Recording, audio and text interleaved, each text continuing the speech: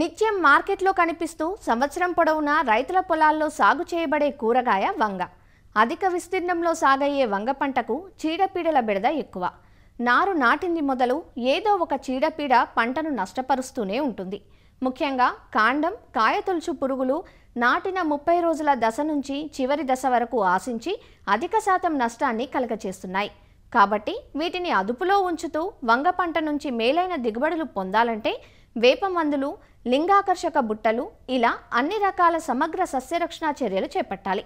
ఆఖరి అస్త్రంగా మాత్రమే పురుగు మందులు వాడాలి. లేదంటే మందుల అవశేషాలు కాయల్లో మిగిలిపోతాయి.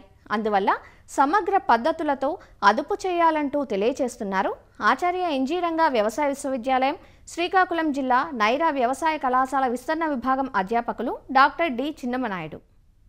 ఈ ఖరీఫ్ పంట కాలంలో కూడా చాలామంది రైతులు వంగ పంట వేయటం అనేది జరిగింది. నీటి సదుపాయం ఉన్న దగ్గర. ఈ ఖరీఫ్లో కూడా ధరలు కూడా బాగుంటాయని ఈ వంగ పంటను చాలామంది రైతులు వాళ్ళకు ఉన్నటువంటి అవకాశాన్ని బట్టి వేయటం జరిగింది. అయితే ఇందులో ఉన్నటువంటి ఒక ప్రధానమైన సమస్య సరిగ్గా రైతులు యాజమాన్యం చేయకపోవడం వల్ల ఎక్కువ నష్టం కలుగజేస్తుంది. అదే మనం ఏంటంటే కాండం మరియు కాయ తులసి పురుగు. ఈ కాండము కాయ తులసి పురుగు లక్షణాలు చూస్తే కనుక నాటిన ముప్పై రోజుల నుంచి కాయలు కోస్తున్న చివరి వరకు కూడా ఈ పురుగు ఆశించి నష్టాన్ని కలుగజేస్తుంది. ఇది మొదట ఏంటంటే కాండంలోకి ఈ గొంగల పురుగు ఏదైతే ప్రవేశించి ముందు కాండానికి నష్టం కలుగజేసి మీరు చూస్తే కనుక కొమ్మలు వడలిపోయినట్టు వేలాడినట్టు కనిపిస్తాయి. ఆకులు పైన ఉన్నటువంటి చిగురు ఆకులు వేలాడినట్టు కనిపిస్తాయి. మీరు ఆ వేలాడిన ఆకుకి ఒక అంగుళం వెనక నుంచి కనుక కాండాన్ని తుంచి మీరు కనుక చూస్తే లోపల చూస్తే మీకు గొంగల పురుగు ఈ కనిపిస్తుంది. అదేవిధంగా కాయ తయారయ్యే దశలో కూడా కాయలోనికి ఈ పురుగుతల గొంగల పురుగు ప్రవేశించి లోపల ఉన్న కణజాలాలను తింటూ బ్రతుకుతూ తర్వాత మళ్ళీ దాని జీవచక్రాన్ని పూర్తి చేసుకుని మళ్ళీ బయటకు వచ్చేస్తుంది.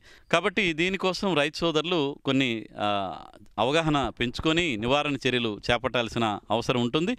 మీరు పంట మీద పరిశీలిస్తున్నప్పుడు ఆకులు పైన కాండం కొనలు కానీ ఆకు చిగురు ఆకులు కానీ వడలిపోయినట్టు కనిపిస్తే వాటిని అన్నిటిని కూడా తుంచి సేకరించి నాశనం చేయడం కానీ లేదంటే ఒక గొయ్యి తీసి గొయ్యిలో పాతి పెట్టడం కానీ చేయాలి. తదుపరి మనం రసాయన మందులు పిచికారీ చేయాలి. దీనికోసం ముందు జాగ్రత్తగా ఏంటంటే మనం వేప కషాయం తయారు చేస్తే లీటర్ నీటికి యాభై మిల్లీ లీటర్ల వేప కషాయాన్ని ప్రతి పదిహేను రోజుల వ్యవధిలో పిచికారీ చేయటం కానీ లేదా లీటర్ నీటికి ఐదు మిల్లీ లీటర్ల వేప నూనె.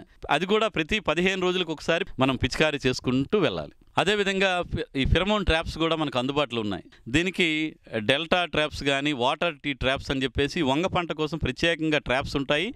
ఈ ట్రాప్స్లో మనం ఈ ల్యూర్ ఏదైతే వంగలో కాండము కాయ తులసే పురుగు తాలక ఆడ పురుగు విసర్జించే రసాయనానికి సంబంధించిన ల్యూర్ దొరుకుతుంది. ఆ ల్యూర్ని ట్రాప్లో పెడితే ఈ వాసనకి మగ పురుగులన్నీ కూడా అక్కడికి ఆకర్షింపబడతాయి. వాటిని సేకరించి మనం నాశనం చేయడం ద్వారా ఏంటంటే ఆడ మగ పురుగులు కలిసేటువంటి అవకాశం లేకుండా చేసి తద్వారా ఈ పురుగు సంతతి నిరోధించినట్టు అవుతుంది. తదుపరి ఏంటంటే ఈ పొలంలో కలుపు లేకుండా చేసి శుభ్రంగా ఉంచుకోవడం కూడా చేయాలి. తదుపరి మనం కొమ్మలు కాత్తిరించుకొని వాటిని అన్నింటినీ కూడా నాశనం చేయడం కానీ పాతిన తరువాత మాత్రమే మనం ఈ రసాయన మందులు పిచికారి చేసుకోవాలి. ఫ్లూ బెండమైడ్ అయినటువంటి మందు అయితే కనుక సున్నా పాయింట్ మూడు ఎంఎల్ ఒక లీటర్ నీటికి కలిపి పిచికారి చేసుకోవడం కానీ అదేవిధంగా క్వినాల్ ఫాస్ అయితే కనుక రెండు మిల్లీ లీటర్లు ఒక లీటర్ నీటికి చొప్పున కలిపి పిచికారి చేసుకోవచ్చు. లేదనుకుంటే కనుక ల్యాండా సైలోత్రిన్ అనేటువంటి మందును ఒక మిల్లీ లీటరు ఒక లీటర్ నీటికి కలిపి మనం పిచికారి చేసుకోవడం ఈ స్పైనోసైడ్ అయినట్టు ట్రాసర్ అని అంటారు. అది కూడా సున్నా పాయింట్ మూడు ఎంఎల్ ఒక లీటర్ నీటికి కలిపి పిచికారీ చేసుకోవచ్చు. మందులు మార్చి మార్చి పిచికారీ చేసుకుంటూ వెళ్ళడం వల్ల పురుగు తాలూక నిరోధక శక్తి తగ్గి మనకి త్వరగా అవి నివారించడం కానీ ఉధృతి తగ్గడం కానీ జరుగుతూ ఉంటుంది. కొత్తగా వేస్తున్న వాళ్ళు ఎవరైనా ఉంటే పంట దున్నేటప్పుడే లోతు దుక్కు ఒకసారి చేయటం అలాగే విధంగా పొలంలోని దున్నేటప్పుడే కార్బోఫీర్ అనేది పది కేజీల వరకు ఈ గుళికలను కనుక ముందుగానే పొలంలో వేస్తే చాలా వరకు ఇటు ప్యూపా దశలు కానీ వేరే రకాలుగా నేలలో ఆశ్రయం పొందినటువంటి ఈ కాండం కాయతుల్చే పురుగు దశలు ఏవైనా ఉంటే నాశనం అవుతాయి కాబట్టి ఆ విధంగాను.